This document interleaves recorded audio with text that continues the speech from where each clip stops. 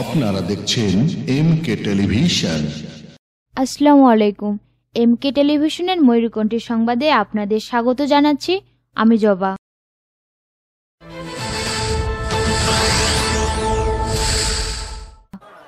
জাতীয় ও স্থানীয় নির্বাচনের হার মানিয়ে নানা উৎসাহ উদ্দীপনার মধ্য দিয়ে জয়পুরহাটের পাঁচবিবি পল্লী বিদ্যুৎ সাব জোনাল অফিসের এলাকা ও পরিচালক পদের ভোট অনুষ্ঠিত হয়।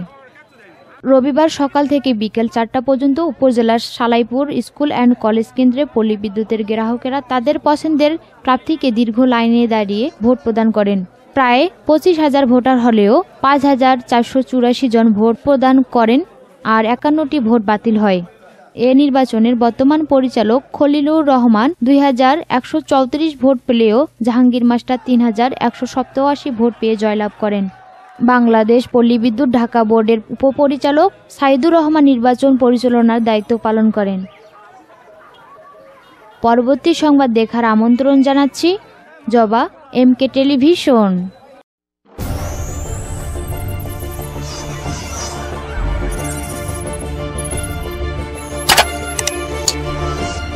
আপনারা দেখছেন এম কে টেলিভিশন।